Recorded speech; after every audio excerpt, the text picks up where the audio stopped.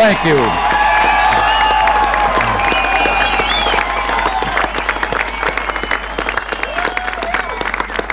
Thank you very much.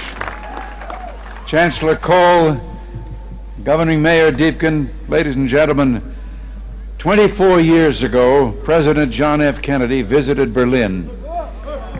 And speaking to the people of this city and the world at the City Hall, well, since then, two other presidents have come, each in his turn to Berlin. And today, I myself make my second visit to your city.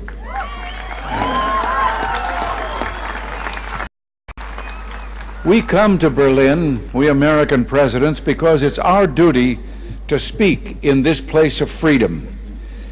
But I must confess, we're drawn here by other things as well, by the feeling of history in this city, more than 500 years older than our own nation, by the beauty of the Grunewald and the Tiergarten, most of all, by your courage and determination.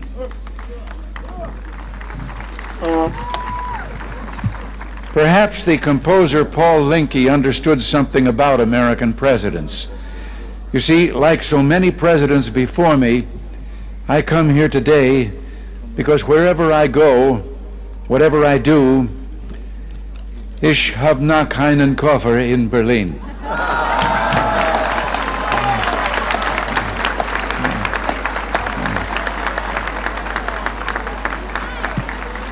Our gathering today is broadcast throughout Western Europe and North America.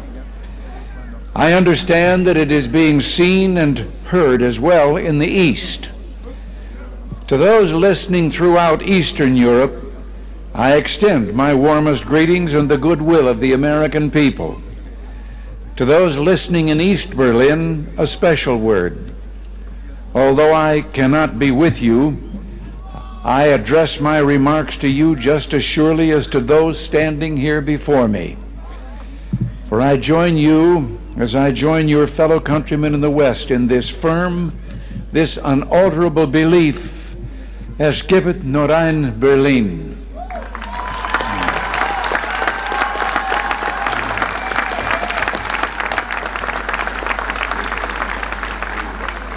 Behind me stands a wall that encircles the free sectors of this city, part of a vast system of barriers that divides the entire continent from the Baltic south. Those barriers cut across Germany in a gash of barbed wire, concrete, dog runs, and guard towers. Farther south, there may be no visible, no obvious wall, but there remain armed guards and checkpoints all the same. Still a restriction on the right to travel. Still an instrument to impose upon ordinary men and women the will of a totalitarian state. Yet it is here in Berlin where the wall emerges most clearly. Here, cutting across your city, where the news photo and the television screen have imprinted this brutal division of a continent upon the mind of the world. Standing before the Brandenburg Gate, every man is a German separated from his fellow men.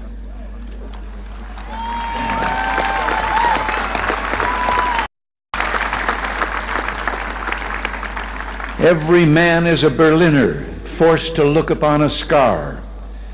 President von Weizsäcker has said the German question is open as long as the Brandenburg Gate is closed.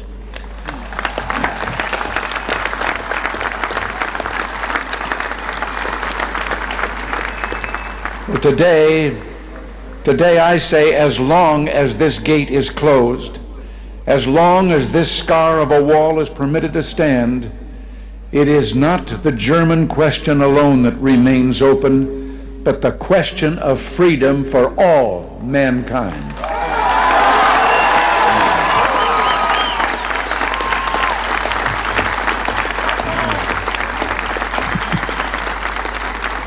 Yet, I do not come here to lament, for I find in Berlin a message of hope, even in the shadow of this wall, a message of triumph.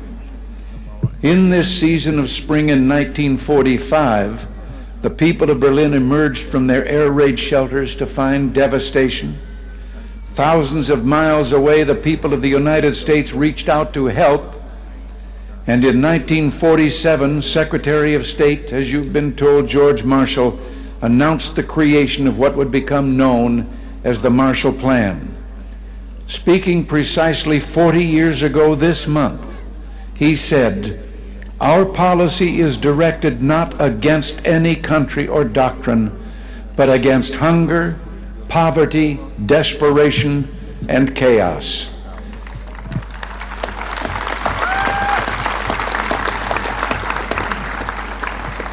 In the Reichstag a few moments ago, I saw a display commemorating this 40th anniversary of the Marshall Plan. I was struck by a sign, the sign on a burnt out, gutted structure that was being rebuilt. I understand that Berliners of my own generation can remember seeing signs like it dotted throughout the western sectors of the city. The sign read simply, the Marshall Plan is helping here to strengthen the free world. A strong free world in the West, that dream became real. Japan rose from ruin to become an economic giant. Italy, France, Belgium, virtually every nation in Western Europe saw political and economic rebirth. The European community was founded.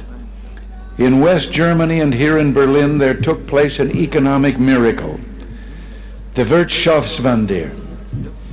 Adenauer, Erhard, Reuter, and other leaders understood the practical importance of liberty, that just as truth can flourish only when the journalist is given of speech, so prosperity can come about only when the farmer and businessman enjoy economic freedom.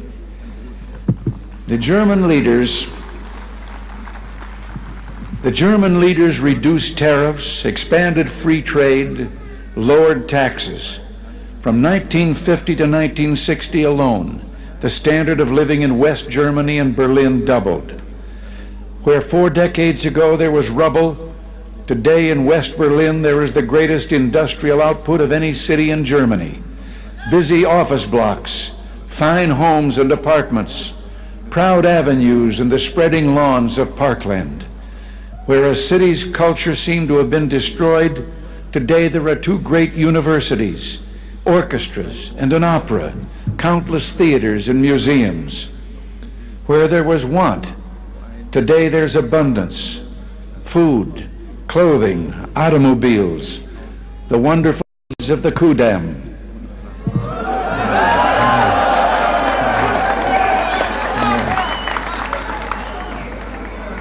from devastation, from utter ruin, you Berliners have in freedom rebuilt a city that once again ranks as one of the greatest on earth. And the Soviets may have had other plans, but my friends, there were a few things the Soviets didn't count on. Berliner Herz, Berliner Humor, ja und Berliner Schnauzer.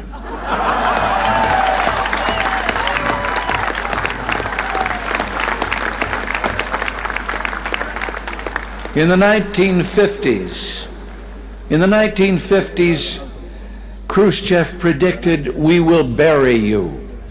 But in the West today, we see a free world that has achieved a level of prosperity and being unprecedented in all human history. In the communist world, we see failure, technological backwardness, declining standards of health, even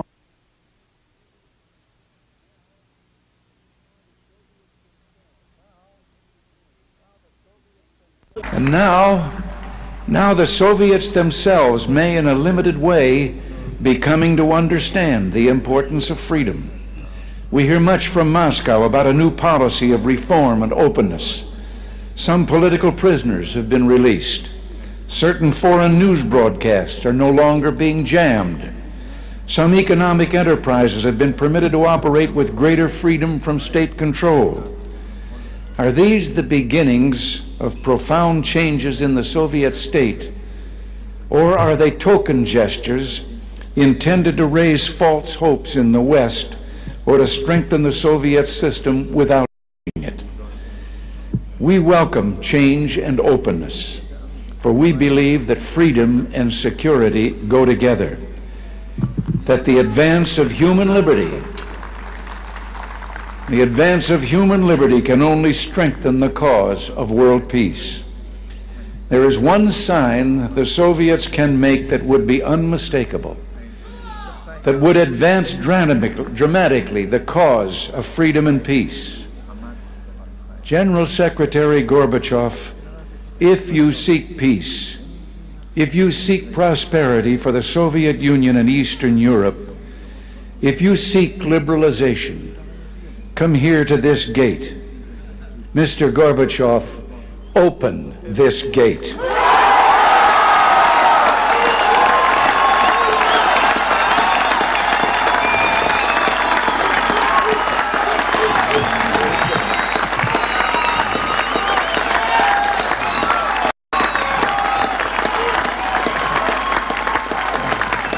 Mr. Gorbachev.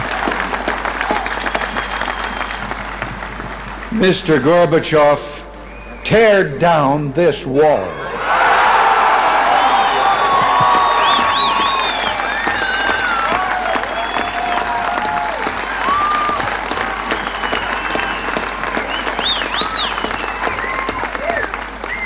I understand the fear of war and the pain of division that afflict this continent and I pledge to you my country's efforts to help overcome these burdens.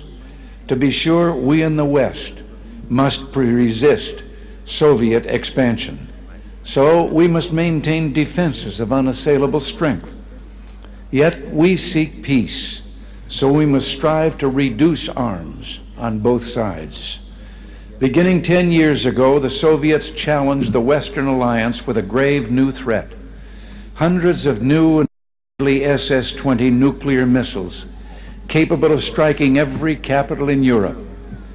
The Western Alliance responded by committing itself to a counter-deployment. Unless the Soviets agreed to negotiate a better solution, namely the elimination of such weapons on both sides, for many months the Soviets refused to bargain in earnestness. As the alliance in turn prepared to go forward with its counter deployment, there were difficult days, days of protests, like those during my 1982 visit to this city. And the Soviets later walked away from the table. But through it all, the alliance held firm. And I invite those who protested then, I invite those who protest today to mark this fact. Because we remain strong, the Soviets came back to the table.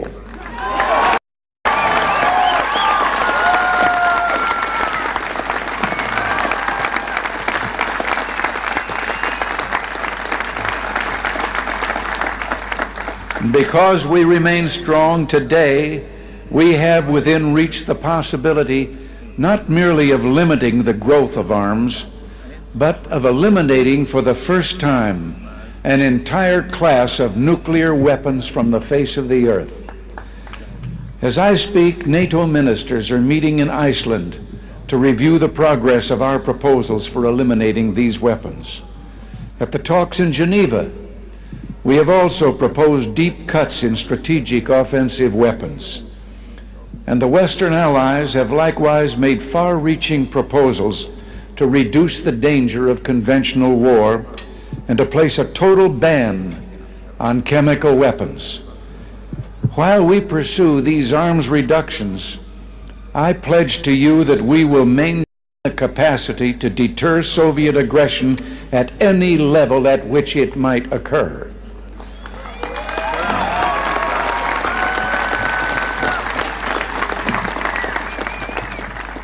And in cooperation with many of our allies, the United States is pursuing the Strategic Defense Initiative. research to base deterrence not on the threat of offensive retaliation, but on defenses that truly defend, on systems, in short, that will not target populations but shield them. By these means, we seek to increase the safety of Europe and all the world. But we must remember a crucial fact. East and West do not mistrust each other because we're armed. We're armed because we mistrust each other.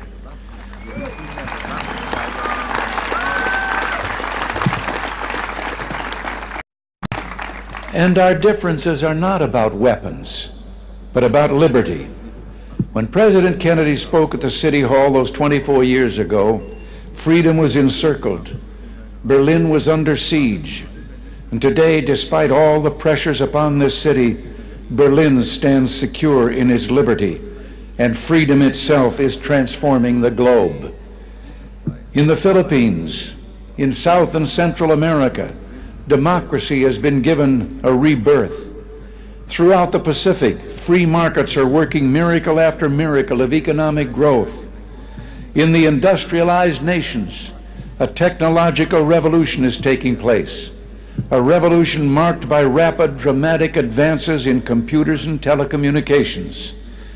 In Europe, only one nation, and those it controls, refuse to join the community of freedom. Yet in this age of redoubled economic growth, of information and information, the Soviet Union faces a choice. It must make fundamental changes, or it will become obsolete.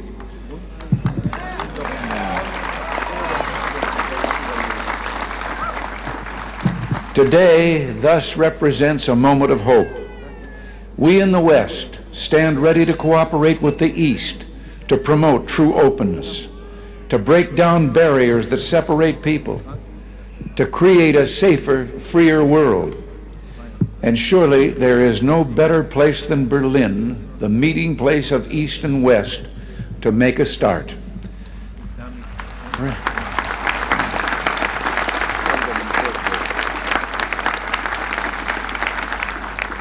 Free people of Berlin today as in the past, the United States stands for the strict observance and full implementation of all parts of the Four Power Agreement of 1971.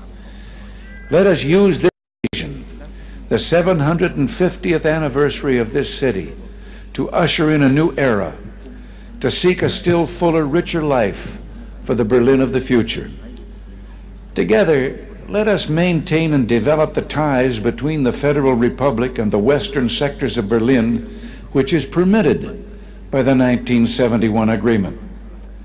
And I invite Mr. Gorbachev, let us work to bring the eastern and western parts of the city closer together so that all the inhabitants of all Berlin can enjoy the benefits that come with life in one of the great cities of the world.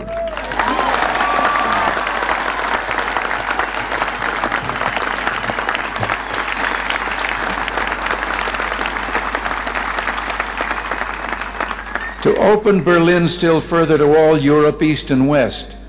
Let us expand the vital air access to this city, finding ways of making commercial service to Berlin more convenient, more comfortable, and more economical. We look to the day when West Berlin can become one of the chief aviation hubs in all Central Europe. With, with our French with our French and British partners, the United States is prepared to help bring international meetings to Berlin. It would be only fitting for Berlin to serve as the site of United Nations meetings or world conferences on human rights and arms control or other issues that call for international cooperation.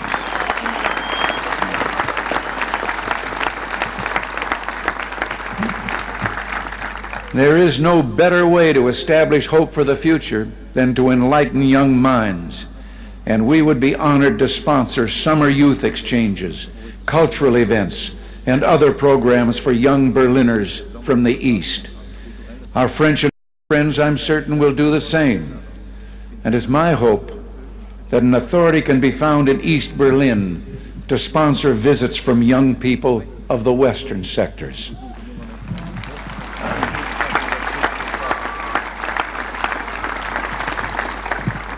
One final proposal, one close to my heart. Sport represents a source of enjoyment and ennoblement.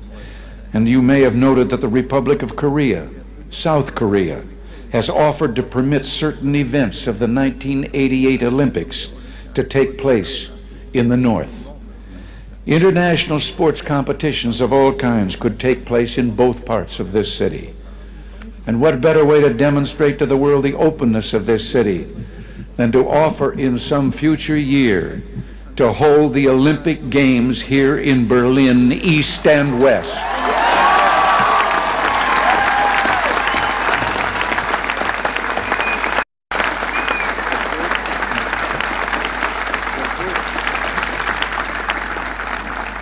In these four decades, as I have said, you Berliners have built a great city. You've done so in spite of threats, the Soviet attempts to impose the East Mark, the blockade. Today, the city thrives in spite of the challenges implicit in the very presence of this wall. What keeps you here? Certainly, there's a great deal to be said for your fortitude, for your defiant courage, but I believe there's something deeper something that involves Berlin's whole look and feel and way of life, not mere sentiment. No one could live long in Berlin without being completely disabused of illusions. Something instead that has seen the difficulties of life in Berlin but chose to accept them, that continues to build this good and proud city in contrast to a surrounding totalitarian presence that refuses to release human energies or aspirations. Something that speaks with a powerful voice of affirmation that says yes to this city, yes to the future, yes to freedom. In a word, I would submit that what keeps you in Berlin is love.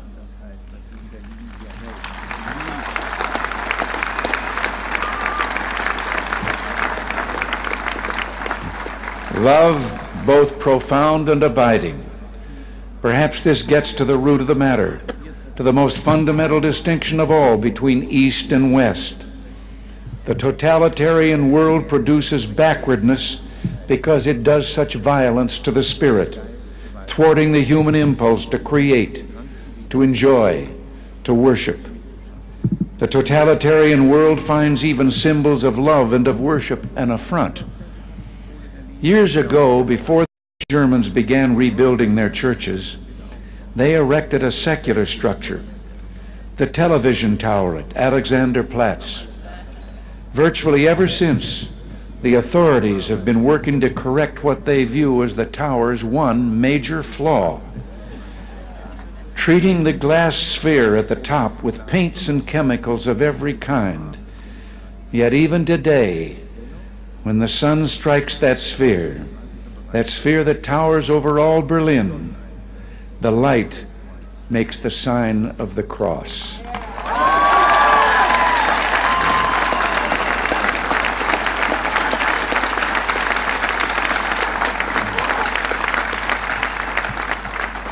There in Berlin, like the city itself, symbols of love, symbols of worship, cannot be suppressed. As I looked out a moment ago from the Reichstag, that embodiment of German unity, I know words crudely spray painted upon the wall, perhaps by a young Berliner. Quote, this wall will fall, beliefs become reality.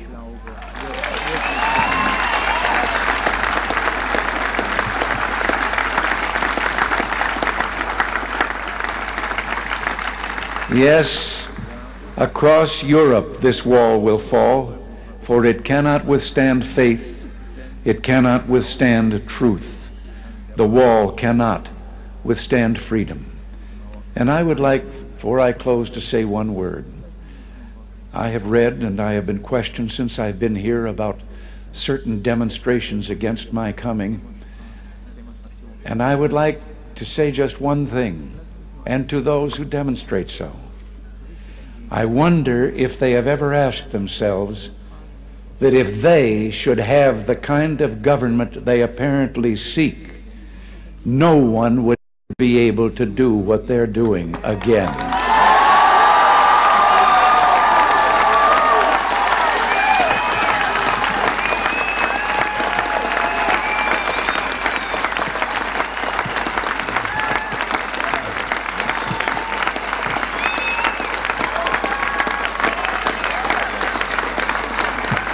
Thank you, and God bless you all.